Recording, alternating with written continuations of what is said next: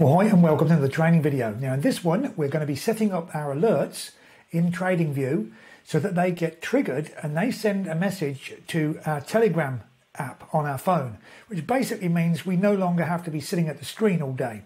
Now, what I'm going to do is run through this with you, show you how very easy it is. There is a previous video on this on setting up the, the webhook. That's how you get it to talk, basically. So training, sorry, trading view, how it talks to Telegram and sends those messages. So watch that one first if you need to. So let's get straight into this and see how we can set this up to be a very powerful uh, trading opportunity indeed. Um, we can finally get away from the screen and enjoy ourselves and literally log in when we get our signal pop up on our phone. Terrific. Let's get on with it now. Okay, so the way I'm going to approach this, and you may want to do this differently, but for me, I don't want an alert going off um, if I'm watching, say, eight pairs, and I might get a lot of alerts going off all the time, ping, ping, ping. I don't want that. So what I want to do is I want to filter them out. And the way I'm going to do that is by use a longer time frame. So in other words, I'm going to set this up on the 30 minute time frames and see how I go on that. Later on, I may change that, but that'll be a very simple solution to do. So for now, I'm going to put it onto 30 minutes. So every time that particular criteria occurs on a 30 minute chart, on a pair that I'm watching, I will get an alert come to my phone. At that point, I can then actually on the phone, I can actually log in and see TradingView the actually on the chart where it's fired, or I can go to my computer on the larger screen and go from there. And of course, from that point, I could then uh, just go down to a smaller time frame if I wanted to, to then uh, en- enter or exit a particular trade on that time frame. So I'm going to start off, as I say, with a 30 minute, and I'll set these up now, and you can come through with me on this and watch how this is done. Okay, so here we are in the 30 minute, and you can see that I've got eight charts set up here. This is a desktop. You can see all my other individual charts that I have set up running through here as well, which I can go to any of those tabs.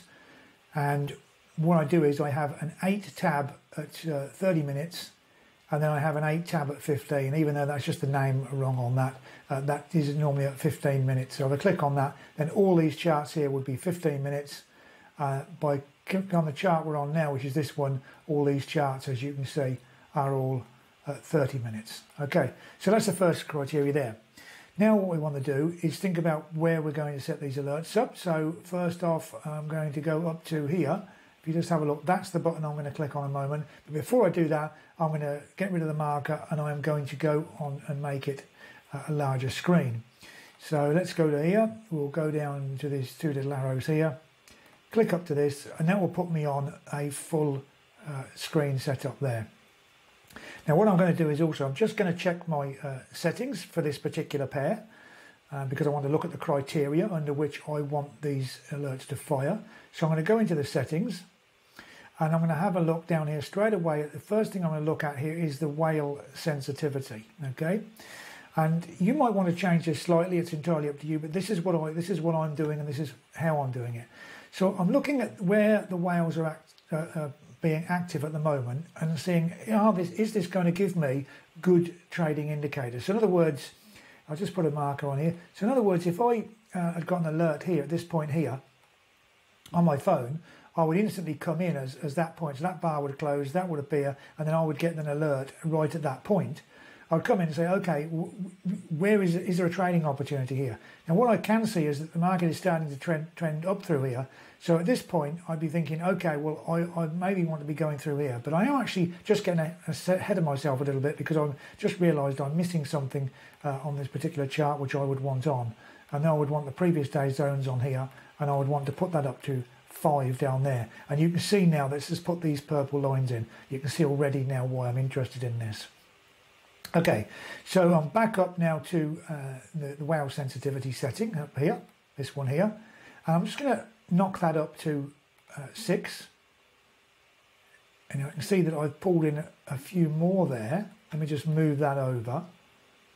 Pulled in some more down here as well. So that might be too much on that. So I'm going to go back to five and see where we go. Okay, now that's back up to six. Yeah, let's have a look over here. I'm looking down at this area now to see what we've got here. If I drop this sensitivity down to 5. Yeah, I, I quite like uh, 5 at this. I'd be very happy to get these signals around at this point here. Yeah, I'd be very happy to get those. Okay, so that's going to be that's my my settings is going to be okay. Um, everything's all good. 16, 2. I just want to try something down here. I'm just going to knock this down uh, to 16. I want to pick up on that a little bit more. Okay, now this I this setting here, it's actually 16 is normally a default for me, so maybe this because I've set some new charts up to do this. Okay, now 16, you notice that we get more down here. So this has adjusted the floating zone, that 16 setting. So what I'm going to do is I'm just going to go back. And I'm going to take that up to 6 again and see what happens. Okay, we get more on there. Down to 5. I'm just going to try it at 4.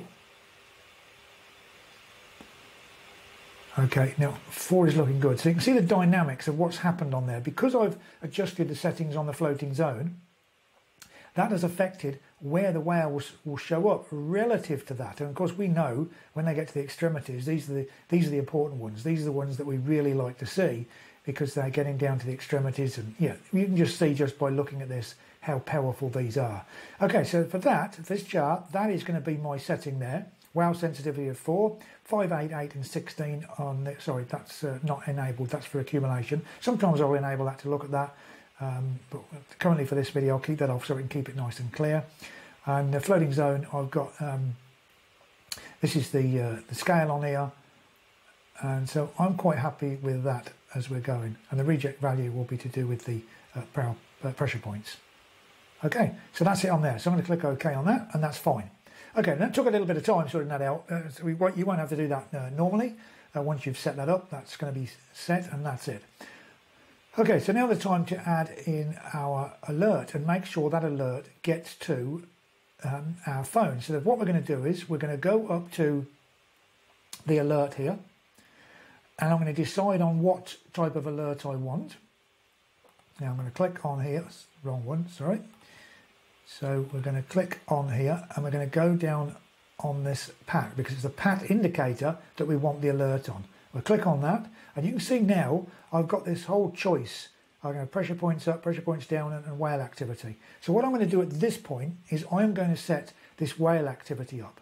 And you can do just the same process for going through this on the uh, pressure points, uh, whatever you want. So I go for whale activity, click there. The message on here, I'm going to get rid of that. I'll just put in just put in uh, whale alert for now. Okay. And the alert name, I'm just going to put whale in there. Let's just put, uh, let's put, let's just put whale test in there. Okay, now, do we want this only once? Um, only once per bar, once per bar? Okay, so only once on this, once per minute. I'm just checking on this, making sure whale activity only once once per bar close. That's what we want. If we only, only once, then it would only fire once on the whole chart. We want it once per bar close. Okay, that's fine. And now is the notifications. So we want to go to notifications now. Now I'm going to blank out the uh, webhook um, URL in here. That will be blanked out. But what I will do is I'll scroll to the end of it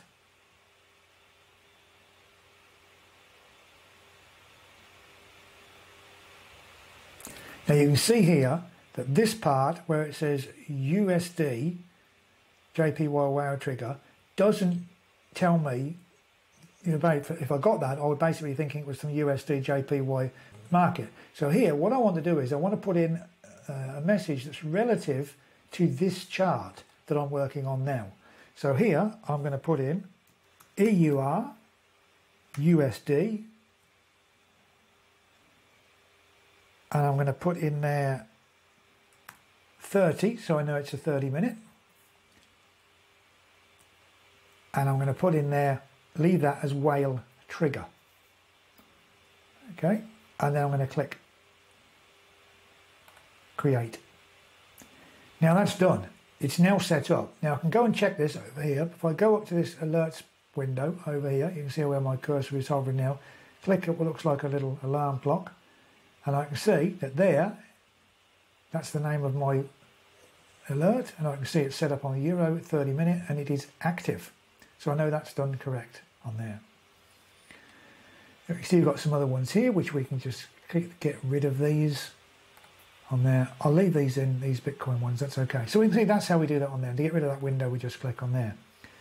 Okay, so that's the process. All you have to do is go through each chart that you want, set it up like that, change your webhook to be reflective of the name that you want for that chart, so that when that alert pops up on your phone, you will instantly know that's the pair, that's the time frame, and you can instantly go to that. And like I say, you can actually got the if you've got the TradingView uh, platform, you've got it on on your phone as well.